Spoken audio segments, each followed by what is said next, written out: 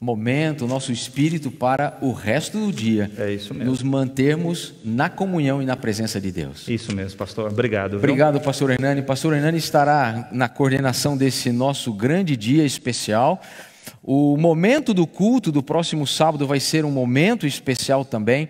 E eu quero convidar você a se unir a muitos, a centenas e milhares de adventistas em todo o estado de São Paulo, quem sabe na América do Sul, em todos os lugares, nesse dia especial de jejum, oração e comunhão com Deus. Próximo sábado, você é o nosso convidado para se unir conosco em oração e em jejum. Agora, eu vou chamar a sua atenção para algo importante. E eu deixei para falar isso nesse momento que eu sei que temos aí a maioria das pessoas já conectadas e é muito importante você saber disso. Você que mora no entorno aqui da nossa comunidade, você que é membro da igreja do NASP, nesse momento tão difícil, momento de pandemia, momento de isolamento, momento em que nós estamos passando por uma, uma condição que não é a melhor e nem aquilo que nós esperávamos, o ministério pastoral da igreja do NASP, a sua liderança, é, preparou algo especial para que a gente possa, de maneira muito é, próxima de você, mesmo estando distante, orar pela sua família, orar pela sua vida. Nesse próximo, nesses próximos dias, em todos os nossos condomínios aqui da nossa região, é, estará sendo entregue um envelope como este. Então preste atenção. Se você receber esse envelope que tem como título Juntos em Oração, e você vai ter aqui uma etiqueta com o seu nome, é, não jogue fora, porque dentro desse envelope ele tem uma mensagem especial que nós escrevemos para você. E dentro desse, ao lado dessa mensagem, existe um QR Code. O que seria isso? Ao você colocar ali o seu celular e abrir esse QR Code, haverá um formulário. E nós, como pastores da igreja, anciãos e líderes, nós estamos oferecendo a você a oportunidade, se não pudermos estar pessoalmente, mas mesmo através de uma ligação telefônica, de um FaceTime ou de um Zoom, entrarmos na sua casa, orarmos pela sua casa, orarmos pela sua vida, orarmos pelos seus negócios, orarmos pela sua família e podemos pedir a bênção de Deus sobre vocês. Então, nós vamos agendar isso com muito carinho e vamos ter a alegria de poder então estar ao lado dos nossos irmãos, mesmo que não seja presencialmente, vamos poder então compartilhar momentos juntos de oração, de testemunho e de comunhão com Deus. Então, se você receber esse envelope, não, não jogue fora, leia atentamente e participe conosco desse momento especial que estamos denominando Juntos em Oração. É uma ação da pastoral da Igreja do NASP, Engenheiro Coelho, para atender melhor a nossa comunidade e poder, nesse momento difícil, estar bem junto de vocês. E isso será extensivo também a outros irmãos de outras regiões também da nossa igreja, ok? Dito isso, quero então orar pedindo a bênção de Deus para o estudo da Sua palavra nessa hora. Feche os seus olhos e vamos orar. Querido Deus e Pai, obrigado porque de maneira especial podemos abrir a Tua palavra nesse momento. O Senhor com certeza está ao nosso lado, o Teu Espírito está influenciando a nossa mente e nós queremos pedir que nada nos afaste da Tua presença nesse momento que seja um momento de comunhão, de crescimento espiritual, que seja um momento de reconciliação contigo, mas, sobretudo, que seja um momento de uma importante tomada de decisão. Que a tua paz, o teu espírito e a tua bênção esteja sobre a nossa vida. É o que nós te pedimos e te agradecemos com o perdão dos nossos pecados, em nome de Jesus. Amém. O título que escolhemos para a nossa mensagem nesta manhã é esse que você talvez esteja vendo aí na sua tela. Guarda. A que horas estamos da noite? Eu quero convidar você a abrir a palavra de Deus no livro de Isaías, capítulo 21, e acompanhar a leitura do verso 11 e do verso 12. A palavra do Senhor diz assim: Sentença contra Dumá. Gritem-me, diz Seir. Guarda, a que horas ou a que hora estamos da noite? Guarda, a que horas? Respondeu o guarda: Vem amanhã e também à noite. Se quereis perguntar, perguntai, voltai e vinde. Essa é uma profecia muito interessante contra Edom. Quem eram os edomitas? Os edomitas eram os descendentes de Isaú. E Isaú, você sabe, era o irmão gêmeo de Jacó. Que momento era este? Esse era um momento muito difícil para os edomitas. Os edomitas viviam uma, uma noite muito escura na sua história. As suas expectativas não eram as melhores, nem em relação ao presente e nem em relação ao futuro. Naturalmente que essa noite que viviam os edomitas não é uma noite literal,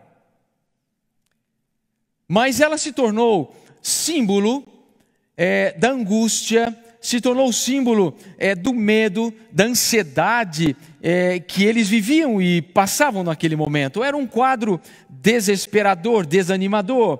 Por isso eles ansiavam pela chegada é, do dia, porque eles imaginavam que ao amanhecer o dia, os seus temores, as suas ansiedades, aquela longa noite passaria e quem sabe lhes trariam uma libertação. Queridos, eu não quero pregar para você hoje de manhã sobre os edomitas, não. Mas eu quero dizer para você que quando eu olho para essa longa noite escura vivida pelos edomitas, eu não posso deixar de fazer um paralelo com a longa e terrível noite a escura noite que nós hoje vivemos e que todos que habitam nesse velho e cansado mundo vivem. E assim como os edomitas, no meio de tantas notícias ruins, no meio de tanta morte, no meio de tanta violência, no meio de tanta desgraça, quem nunca fez esta pergunta? A que horas estamos da noite? Quanto tempo mais vai durar esta noite escura pelo qual nós estamos passando e vivendo? Eu não tenho dúvidas de que, assim como os edomitas, eles ansiavam pela chegada do dia, eu não tenho dúvidas de que nós também ansiamos que esta noite escura passe o mais rápido possível. Por isso, eu quero tomar emprestado esta pergunta dos Edomitas para fundamentar a minha mensagem nesta manhã. É por isso que eu a intitulei A que horas estamos da noite? E nessa parte introdutória, quero convidar você a abrir a palavra de Deus no livro de Romanos. Eu quero levá-lo a pensar numa citação do apóstolo Paulo, que poderia dizer é uma citação muito paralela a esta que acabamos de ler em relação aos Edomitas. Romanos capítulo 13, versículo 12. E Paulo é muito claro quando ele, ele escreve algo muito precioso para, para nós que vivemos nesse momento da história da humanidade. Paulo diz assim: Vai alta a noite e vem chegando o dia. Deixemos, pois, as obras das trevas e revistamo-nos das armas da luz. O que é que Paulo está querendo nos dizer e nos ensinar quando ele diz: Vai alta à noite. O que será que ele tinha em mente ao dizer vai alta à noite? Naturalmente eu só consigo pensar em algo do tipo: a noite está avançada. Se você dividir a parte clara e a parte escura do dia, você percebe que cada uma tem 12 horas. E eu imagino que, ao Paulo dizer vai alta à noite, ele não esteja simplesmente pensando nas primeiras horas da noite, ou quando logo o sol se põe e começa a parte escura. Não. Eu imagino que se fôssemos dividir as horas, imaginaríamos assim, que ele estivesse pensando lá pelas três, quatro horas da manhã. E a prova disso é que na sequência da sua citação ele diz: E vem chegando o dia. Eu, particularmente, quase que todos os dias vejo o sol nascer. Pelo meu ritmo de vida, sempre acordo muito cedo, vou para o meu escritório, abro a, a persiana e fico observando ainda o dia, a parte escura, muito escura e aos poucos o sol vai brilhando, o dia vai chegando. Que cena gostosa! É uma cena bonita, eu gosto de ver isso todos os dias. Mas é interessante esta, esta visão, não é, apenas literal do apóstolo Paulo, mas uma visão espiritual. E com certeza, ao ele estar escrevendo isso, ele estava pensando em coisas muito importantes para a nossa vida espiritual, para o nosso preparo para a volta de Jesus. Então preste atenção em algo que eu quero dizer para você hoje. Assim como Paulo usa a noite como uma palavra simbólica para dizer que as trevas, a impiedade, é, as coisas ruins deste mundo estão é, sobrecarregando a vida das pessoas, tem tornado a nossa vida difícil, as condições humanas difíceis de serem, de serem vividas aqui nesta terra. Quando ele usa a palavra dia, ele também usa essa palavra dia para expressar algo muito importante. E o que é isso? tem a ver com a volta de Jesus.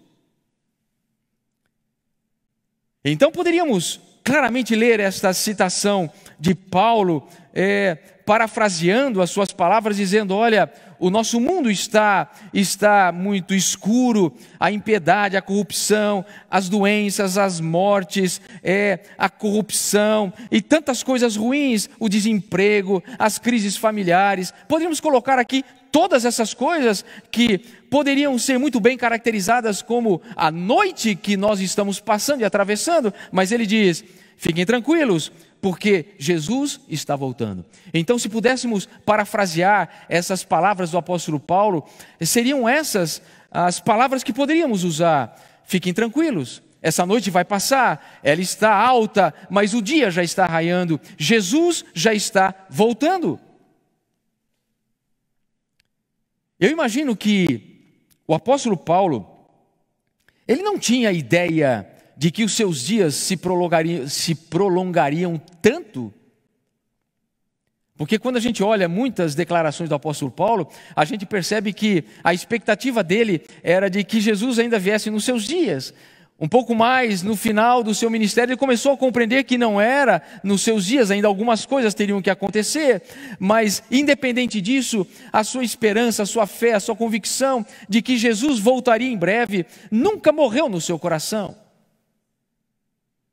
E eu imagino que ele terá, quem sabe, uma surpresa muito grande quando for ressuscitado por ocasião da volta de Cristo. E souber que do tempo da sua morte até o tempo da volta de Cristo, se passaram séculos e milênios. Tamanha era a expectativa que ele tinha da volta de Jesus para dias ou anos muito próximos da sua própria vida. Agora, o que me faz pensar e refletir em algo que quero começar a trazer e conceituar para vocês nesta manhã é que se nós temos essa compreensão como o apóstolo Paulo tinha, vai alta noite e vem chegando o dia. Se nós temos essa compreensão, nós não podemos Escute isso, querido. Escute isso, meu querido irmão, meu querido amigo. Se nós temos esta convicção de que vai alta noite e o dia está chegando, eu não posso me dar ao luxo de viver esse tempo como um mero espectador. Há algo importante que eu preciso e devo e devo fazer. E eu confesso para vocês que na minha na minha mente o verso 11 deveria vir depois do verso 12. É quando eu leio essa declaração, na minha concepção, o verso 12 deveria ser o verso 11, o verso 11 deveria ser o verso 12. Mas eu vou ler o verso 11 porque eu entendo o motivo pelo qual o apóstolo Paulo ele tem essa convicção extraordinária e qual é a motivação que ele tem para nos deixar em relação ao tempo em que nós estamos vivendo. Ele diz: "E digo isto a vós outros, que conheceis o tempo". Isso está no verso 11. Já é hora de vos despertardes do sono, porque a nossa salvação está agora mais perto do que quando no princípio nós cremos. Eu vou confessar para vocês, embora alguns achem muito difícil as palavras e a teologia de Paulo, para mim, Paulo é um, um grande teólogo, um grande profeta, um grande homem de Deus, e ele não cria rodeios para dizer algumas coisas que muitas vezes nós temos medo de dizer, nós temos medo de encarar, nós temos é, dificuldade para assimilar na nossa vida. Mas Paulo é muito direto em suas mensagens. E nessa declaração de Paulo, ele nos lembra duas coisas muito importantes. E eu quero fundamentar a minha mensagem nesses dois aspectos é, que Paulo nos deixa muito claro ao dizer essas palavras que acabamos de ler no verso 11. Qual é a primeira coisa? A primeira coisa é a importância de nós, como cristãos, como adventistas, ou seja, qualquer que for a nossa religião ou a nossa profissão de fé, nós precisamos saber e precisamos entender que é muito importante conhecermos o tempo em que nós estamos vivendo. Guarda, a que horas estamos da noite? Essa pergunta você tem que saber. E Paulo nos deixa isso muito claro. Ele diz: E digo isso a vós outros, que conheceis o tempo. Eu imagino que ao Paulo começar a escrever estas palavras, quando ele começa essa declaração, eu imagino que ele tinha em mente um grupo muito especial de pessoas. E que pessoas são essas?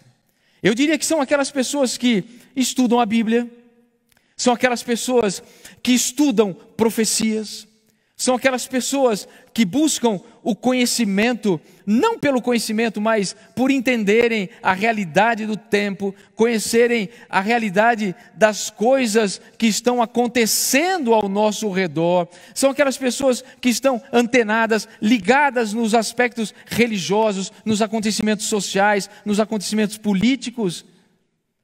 São aqueles cristãos que estão antenados em tudo o que está acontecendo ao seu redor. Eu imagino que são esses cristãos que Paulo tem em mente ao dizer: E digo a vós outros que conheceis o tempo. Mas por outro lado, é, quando Paulo usa a palavra tempo, ele está usando aqui a palavra kairos. Uma palavra que, quando traduzida, ela significa um tempo específico um tempo determinado. É diferente de outras palavras usadas para tempo também. A palavra kairos está ligada exatamente a, a um tempo determinado, a um tempo específico. É por isso que não me resta dúvida de que, de que Paulo, ao, ao escrever essas palavras, ele está dizendo: E digo a vós outros que conheceis o tempo da volta de Jesus. Isso é muito importante para nós. E é possível que eu esteja falando para a maioria daqueles que creem na volta de Jesus. É possível que esteja falando para a maioria daqueles que, é, de alguma forma, já tiveram contato com essa mensagem é, da Bíblia a respeito da volta de Jesus, que é uma das mensagens mais, mais é, é escritas na Bíblia. O maior número de promessas da volta de Cristo é, está na Bíblia. Então nós temos essa convicção, talvez nascemos em um lar cristão, Crescemos ouvindo os nossos pais, os nossos avós, os nossos familiares falando sobre a volta de Cristo, os pastores pregando sobre a volta de Cristo, os profetas. E Paulo então é muito claro quando ele diz assim: Olha, e digo a vós outros que conheceis o tempo. Que tempo é esse? É o tempo da volta de Cristo. Então eu não quero ser talvez indelicado com você, é, eu talvez não te conheça, e você talvez me conheça apenas aqui pelo vídeo, me conheça apenas é, pelo YouTube ou pelos canais das redes sociais da Igreja do NASP, é, isso, isso não, não vem ao caso nesse momento. Mas o que eu quero que você entenda é o seguinte: se você é um cristão, se você é um adventista ou não, mas se você crê na Bíblia, se você estuda a Bíblia, você tem o dever de conhecer o tempo que Jesus se manifestará nas nuvens dos céus. Isso é um dever seu. E essa semana eu estava lendo e preparando essa mensagem, e eu vou colocar aqui um texto que já em algum outro sermão eu já coloquei. Parece-me que na série O Retorno que fizemos o ano passado, vários sermões falando sobre a volta de Cristo.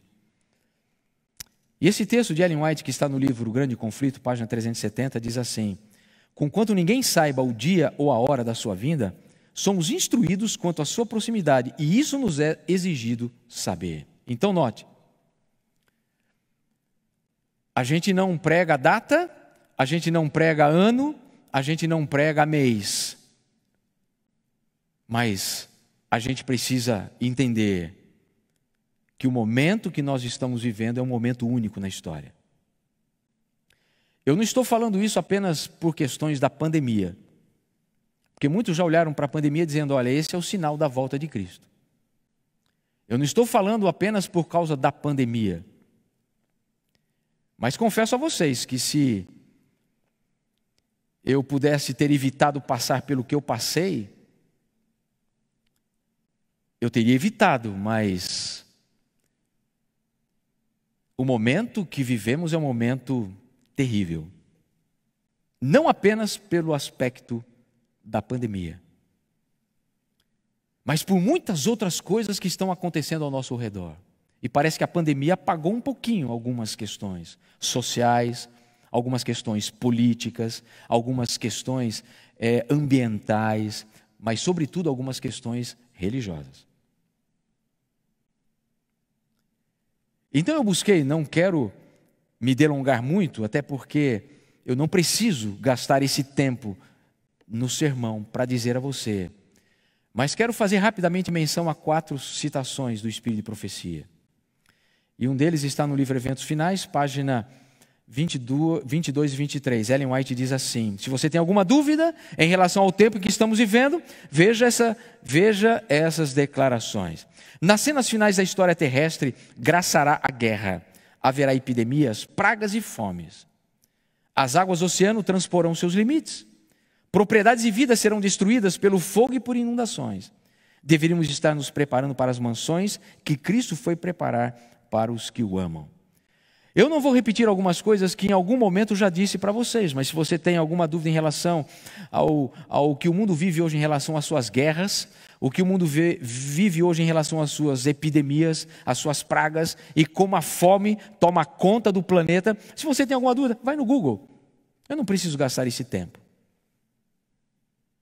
Mas como nunca na história, vivemos uma crise social, uma crise política, uma crise que convulsiona a natureza, como nos dias em que estamos vivendo.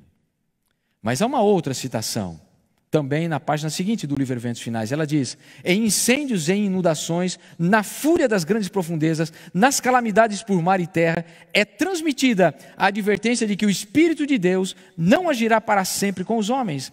E antes que o Filho do Homem apareça nas nuvens dos céus, tudo na natureza estará em convulsão. Haverá fortes terremotos e grande destruição de vidas humanas. Veja essa agora na página 25. Satanás está tra trabalhando na atmosfera, envenenando-a, e aí dependemos de Deus quanto à vida. Nossa vida presente e eterna. Deus não tem impedido que os poderes das trevas levem avante sua nefanda obra de poluir o ar, uma das fontes de vida e nutrição, com um miasma fatal. Não somente afetada a vida vegetal, mas o homem sofre de epidemias. Essas coisas são gotas das taças da ira de Deus, que estão sendo borrifadas sobre a terra e constituem apenas débeis representações do que acontecerá num futuro próximo. Eu já disse em alguns momentos, em alguns sermões anteriores, se você está assustado com a pandemia, prepare-se. Porque a noite escura que vivemos o tempo de crise que ainda passaremos, talvez não consigamos mensurá-lo nesse momento. Mas há uma outra citação, Conselhos para a Igreja, página 46. Ellen White diz assim: Vivemos no tempo do fim. Os sinais dos tempos que se cumprem rapidamente declaram que a vinda de Cristo está próxima, às portas. O Espírito de Deus está gradual, mas seguramente sendo retirado da terra. Pragas e juízos já estão caindo sobre os que desprezam a graça de Deus. As calamidades em terra e mar, as condições sociais agitadas, os rumores de guerra são assombrosos.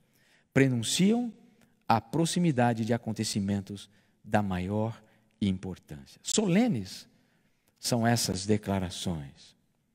Eu diria que muitas dessas coisas nós já estamos acostumados e estamos vendo acontecer mas em breve, como Ellen White nos diz, coisas muito mais significativas, ela diz, prenunciam a proximidade de acontecimentos de maior importância. Ou seja, eu não sei se em anos, dias, meses, eu não sei, mas eu não tenho dúvidas de que os governos jamais encontrarão um equilíbrio para resolverem os problemas da humanidade. os movimentos sociais jamais serão suficientes para suprirem a fome e a carência das pessoas. O mundo caminha para o seu fim, e tem que ser assim, até que Jesus se manifeste nas nuvens dos céus. Porque para o cristão, essa frase eu ouvi alguém dizendo, olha, para o cristão, quanto pior, melhor. Eu não sei, mas eu quero dizer que as condições subhumanas, desumanas e tristes que nós vivemos hoje, só nos remetem ao pensamento de que nós estamos vivendo um tempo de graça, estamos vivendo um tempo emprestado. E cada momento que vivemos precisa ser pensando na eternidade.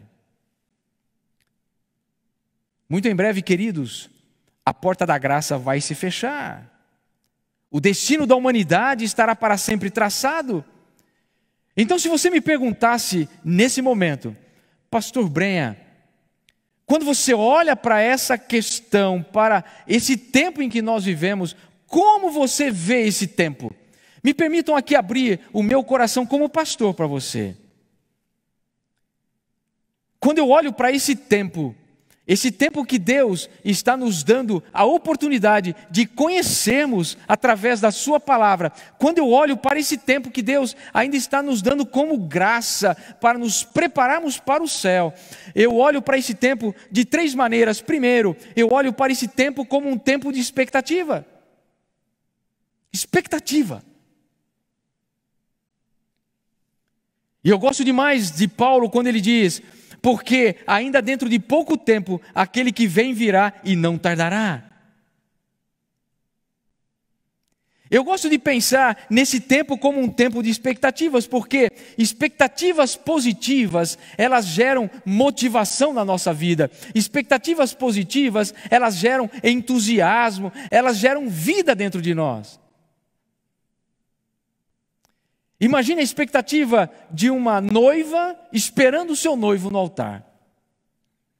E imagine a expectativa de alguém que vai começar na segunda-feira um, um novo trabalho, depois de meses desempregado. Imagine a expectativa de uma mãe esperando pelo nascimento do seu filho. Crie expectativas na sua mente. Imagine a sua expectativa ao você saber que na semana que vem você vai pegar a chave de um carro zero para sempre. E olha, eu vou falar para essa câmera aqui, olha. Eu vou dizer uma coisa para você. Santificação a gente não pega dormindo. Santificação não é um, um vírus que contamina você por você falar com alguém sem máscara. Santificação não é uma bactéria. Santificação é o resultado de uma vida de comunhão diária com Deus. Santificação é o resultado de um cristão que estuda a Bíblia todos os dias, não é uma vez por semana. Santificação é resultado de um cristão que ora todos os dias, não apenas no sábado. Santificação é o resultado da vida de um cristão que, no seu schedule diário, ele tem ali, olha, prioritariamente a primeira hora do dia na presença de Deus. Isso é santificação. É assim que a gente pega a santificação. É assim que a gente adquire santificação. A gente não adquire santificação pelo Netflix. A gente não adquire santificação é, ouvindo o que a maioria gosta de ouvir, lendo o que a maioria gosta de ler frequentando os lugares que a maioria gosta de frequentar.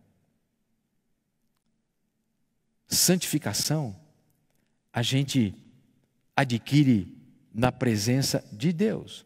Então, se você me perguntar, Pastor Brenha, é, como o senhor vê os dias em que nós estamos vivendo, o tempo em que nós estamos. Eu vejo esse tempo como um tempo não apenas de nós é, conhecermos ou termos expectativas positivas, mas temos também um tempo de preparo.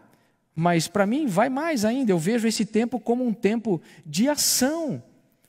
Pedro, em uma das suas declarações, é, lindas do capítulo 3, na sua segunda carta, ele diz assim: Visto que todas essas coisas vão de ser assim desfeitas, deveis ser tais como os que vivem em santo procedimento e piedade, esperando e apressando.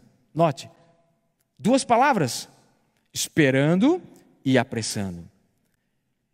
E como eu posso apressar a volta de Cristo? Se você ler um pouco do Espírito de Profecia, você vai ver o que Ellen White fala em relação àqueles que passaram por aquela grande decepção em 1844, os adventistas daquele, adventistas daquele dia, daqueles tempos, é, quando ela diz assim: olha, é, se eles tivessem sido fiéis, se eles tivessem sido zelosos, é, Cristo já poderia ter vindo, se eles tivessem cumprido o papel deles, Cristo já teria voltado.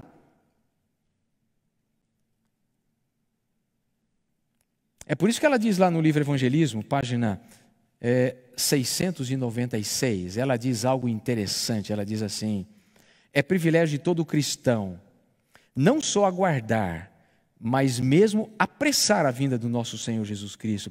Se todos os que professam o seu nome estivessem produzindo fruto para a sua glória, quão rapidamente seria lançado em todo o mundo a semente do Evangelho? Depressa amadureceria a última seara, e Cristo viria para juntar o precioso grão. Eu digo que cristão que é cristão tem missão no coração. Ele não se contenta simplesmente em ser um papa-sermão. Ele está sempre buscando perguntar ao Senhor: Senhor, como eu posso ser útil? Senhor, como eu posso fazer o trabalho? Senhor, como eu posso testemunhar? Senhor, envia-me pessoas para que eu possa compartilhar do teu amor. Senhor, ajude-me a ser o sal da terra, a luz do mundo. Ajuda-me, Senhor, a ser uma bênção para as pessoas. Imagine quão diferente seria a sua vida se cada manhã você orar, Senhor, me coloque hoje pessoas pelas quais eu posso ser uma bênção na vida delas. Coloque no meu caminho hoje essas pessoas. Imagine. Se você pudesse ter essa consciência. Então, quando a gente olha Paulo dizendo lá em Romanos, capítulo 13, verso 11, na primeira parte, e digo isso a vós outros, que conheceis o tempo, você começa a entender a importância do tempo em que nós estamos vivendo. É um tempo de expectativa, é um tempo de preparo, mas é um tempo de ação, porque Jesus está voltando. Eu não tenho dúvidas. Se eu verei Jesus vivo, se não passarei pela morte, isso não compete a mim, estabelecer. Mas você sabe que no momento em que você descansar o sono da morte, Jesus já voltou para você. E quando você abrir os olhos, você só tem dois caminhos. Ou você vai abrir os olhos no momento em que Jesus estiver nas nuvens dos céus, ou você vai abrir os olhos depois de mil anos, quando você vai ressuscitar para a destruição final. Agora, é um tempo de oportunidade, é um tempo de, de preparo, é um tempo de ação. Mas nessa última parte do meu sermão, eu quero analisar com você rapidamente a segunda parte do verso 11 do capítulo 13, aonde Paulo diz assim: Já é hora de vos despertardes do sono. Aqui está a segunda coisa importante que Paulo nos ensina: a importância de despertarmos do sono. Eu confesso para vocês que nunca na minha vida eu almejei tanto ter um bom sono como nesses quase 30 dias em que fiquei com essa terrível enfermidade da Covid. E mesmo que depois que ela se foi, passei muitas noites sem conseguir dormir. E eu, eu senti como que a falta do sono físico é terrível para o nosso corpo, para a nossa vida. E agradeço a Deus todos os dias quando eu consigo deitar e dormir sem depender de nenhum tipo de medicamento. Como que o sono físico é importante para a nossa vida. Mas o sono espiritual, ele é catastrófico. Então, se a gente olha para essa declaração de Paulo e a gente diz assim: olha, é, Paulo dizendo, vocês precisam despertar do sono, não é o sono físico que ele está dizendo, é o sono espiritual. E por que é importante, queridos, despertarmos desse sono? Eu quero mostrar duas passagens da Bíblia, uma de Jesus, em Marcos 13, versos 34 e 35, ele diz assim: Vigiai, pois, porque não sabeis quando virá o dono da casa, se à tarde, se à meia-noite, se ao cantar do galo, se pela manhã, para que vindo ele inesperadamente não vos ache dormindo. Porque nós precisamos e devemos estar acordados espiritualmente? Porque nós não sabemos, nós conhecemos o tempo, conhecemos a época, a proximidade e temos a certeza de que ele está voltando. Então, se eu tenho essa certeza, eu preciso estar acordado, mas muito bem acordado. O próprio apóstolo Paulo, ele nos diz em 1 Tessalonicenses capítulo 5, verso 6, assim pois, não durmamos como os demais, pelo contrário, vigiemos e sejamos sóbrios. Todas as vezes que eu faço um sermão, e até mesmo quando falo sobre arte da pregação bíblica, ensino algumas pessoas a fazerem sermões, eu digo para elas o seguinte: o sermão bom e verdadeiro é aquele que faz sentido para a tua vida. Porque muitos fazem sermão pensando nos outros, mas não pensam nele mesmo. Eu diria para você que está me ouvindo, que essa semana eu fiz uma reflexão sobre essa questão. E eu comecei a me perguntar o que é que a sonolência espiritual causa em nossa vida. E eu confesso que eu listei muitas coisas. E muitas delas relacionadas com a minha própria vida. Mas entre tantas que eu listei, eu escolhi compartilhar quatro com vocês, apenas o conceito. O que a sonolência espiritual causa em nossa vida? Primeiro, ela diminui a nossa visão de quem é Deus.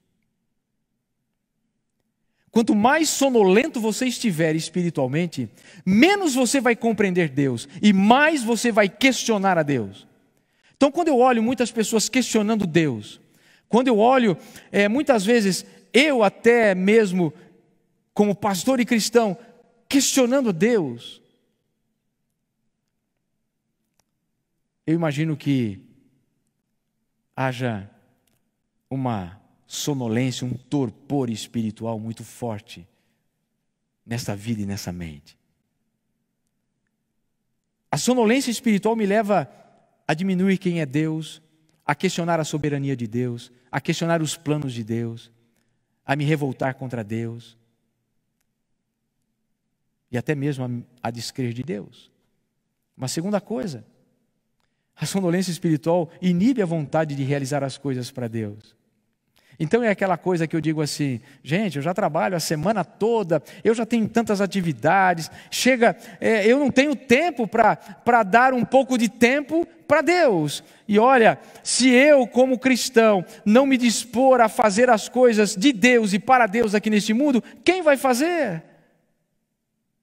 É por isso que o Evangelho está retardado, é por isso que Jesus não veio ainda, porque nós estamos vivendo uma sonolência espiritual tão grande que nos leva a uma total inatividade, inoperância espiritual. Não fazemos nada por Jesus, colocamos o nosso trabalho, os nossos estudos, colocamos as nossas atividades familiares, o nosso lazer, as nossas viagens, os nossos planos e projetos de vida, todos eles sob,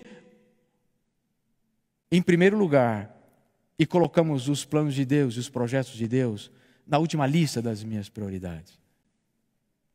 Sonolência espiritual. Mas quando eu olho para a sonolência espiritual, eu vejo que ela também tira o nosso apetite espiritual. Isso é terrível. E é uma das marcas da sonolência espiritual. Eu vejo pessoas que passam o dia com as redes sociais nas mãos estão inteiradas de tudo e de todos, conhecem tudo. Mas eu digo para você uma coisa: elas não conhecem nada a respeito de Deus. Não leem a Bíblia, não estudam a lição da escola sabatina, não leem o Espírito de Profecia, não fazem nada. Sonolência espiritual tira o apetite espiritual. Mas, sobretudo, queridos, a sonolência espiritual me torna uma pessoa completamente insensível à voz do Espírito Santo. É por isso que Paulo escreve assim: olha, já é hora de vos despertardes do sono, porque a nossa salvação está agora mais perto do que quando cremos. Ou seja, a volta de Jesus. Escuta o que eu vou te dizer. Você acha que alguém que está sonolento espiritualmente vai entender o tempo em que vive? Não. Para esse Jesus voltará como um ladrão de noite. Para esse Jesus chegará de maneira súbita, de repente. Mas para aquele que está acordado espiritualmente, ele já antecipa a alegria do encontro com Jesus. Eu quero concluir a minha mensagem deixando com você alguns textos e um verso da Bíblia. O primeiro é este do livro Eventos Finais, página 203. Ellen White diz: Devemos aproveitar ao máximo nossas oportunidades atuais. Não será concedido outro tempo de graça em que possamos preparar-nos para o céu. Eu quero que você tenha essa citação em mente. Devemos aproveitar ao máximo nossas oportunidades atuais. Não será concedido outro tempo de graça em que possamos preparar-nos para o céu. O fato triste dessa história, queridos, é que Jesus é aquilo que ele diz em relação a muitas pessoas que estão nesse tempo de espera. E eu quero levar você a refletir nessa citação de Jesus. A última que eu quero deixar com você nesta manhã. São Mateus capítulo 24, versos 37 a 39. Jesus diz assim: Eu vou ler o verso 36 também. Mas a respeito daquele dia e hora ninguém sabe, nem os anjos dos céus, nem o filho, senão o Pai. Pois assim como foi nos dias de Noé, também será a vinda do filho do homem. Porquanto, assim como nos dias anteriores ao dilúvio, comiam e bebiam, casavam e davam-se em casamento, até o dia em que Noé entrou na arca, e não o perceberam, senão quando veio o dilúvio e os levou a todos assim será também a vinda do Filho do Homem. Deixa eu dizer algo importante para você. Jesus aqui, ele não está fazendo nenhum pronunciamento contra o ato de comermos, o ato de nos casarmos, o ato de trabalharmos. Ele não está nos dizendo nada contra isso.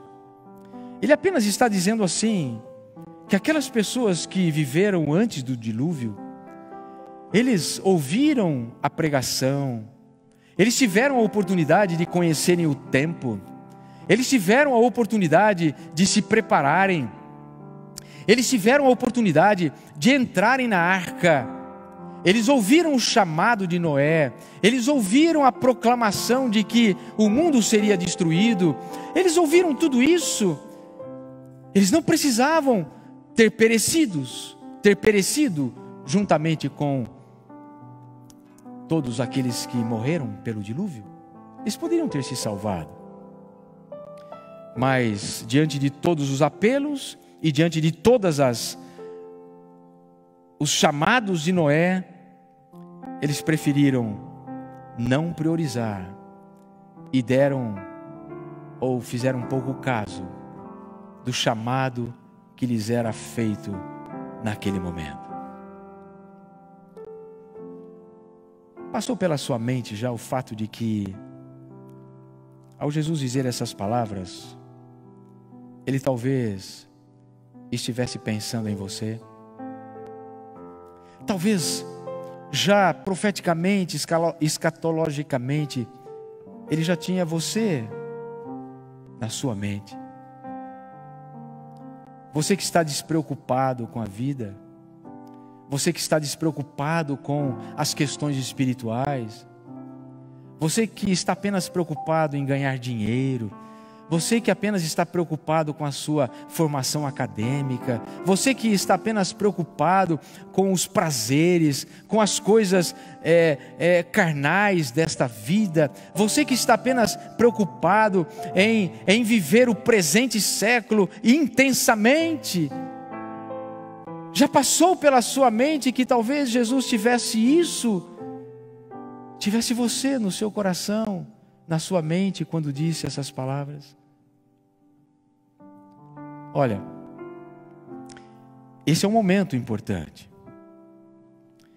Eu digo para você que talvez essa seja a declaração mais incrível que eu que eu li essa semana.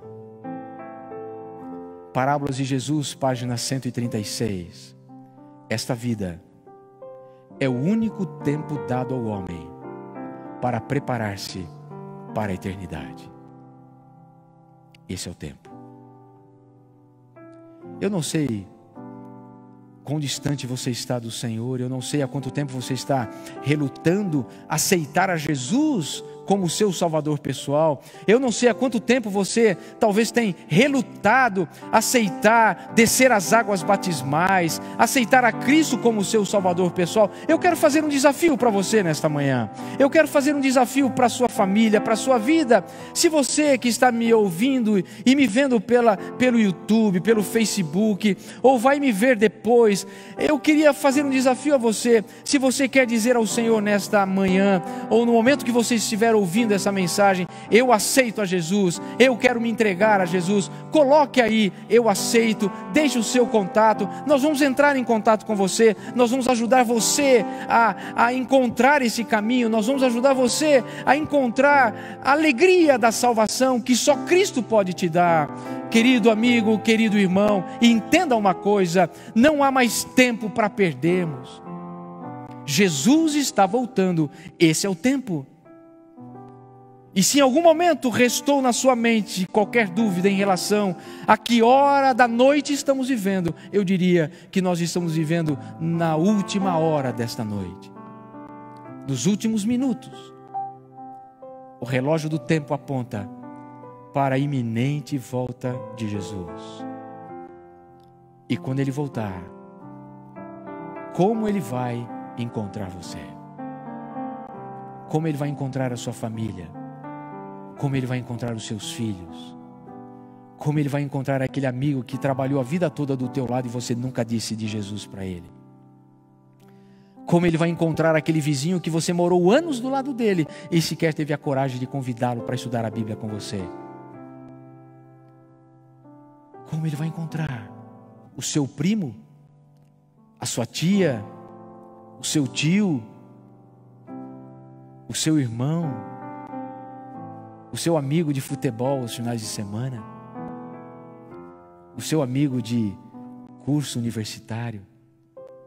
Como ele vai encontrar essas pessoas?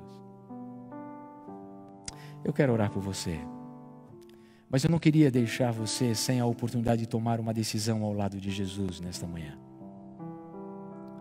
Diga para Jesus: Senhor, eu te aceito. Me dê o discernimento que eu preciso para o tempo em que eu estou vivendo me torne alguém que faça a obra pela qual o Senhor me chamou para fazer nesse tempo tão importante da história da humanidade. Feche seus olhos. Vamos orar. Pai querido, obrigado, Senhor, porque o Senhor nos chama a cada dia. Obrigado porque o Senhor nos dá o discernimento que precisamos para o tempo em que estamos vivendo. Pai querido, que a tua salvação alcance a nossa vida nesta hora. Que a nossa entrega seja verdadeira e genuína. Que quando o Senhor voltar, Pai, não apenas eu, mas a minha família toda esteja protegida na arca. Que os meus amigos, os meus vizinhos, os meus familiares, que eu não tenha medo de falar de Jesus, do teu amor para eles, que eu seja uma bênção para as pessoas que estão ao meu redor. Pai querido, se ainda tínhamos alguma dúvida em que hora da noite estamos vivendo, Pai, a tua palavra nos revelou que estamos vivendo no final dessa noite. E já podemos vislumbrar o breve retorno de Cristo Jesus. Concede-nos, Pai, a tua bênção e a tua graça nesta manhã, mas, sobretudo, a salvação plena por Jesus. Oramos e desde já te agradecemos. Amém. Amém. Que Deus te abençoe. Um feliz sábado. E se você tiver o desejo, compartilhe essa mensagem com muitos amigos. Que Deus te dê um sábado maravilhoso na sua presença. Um grande abraço.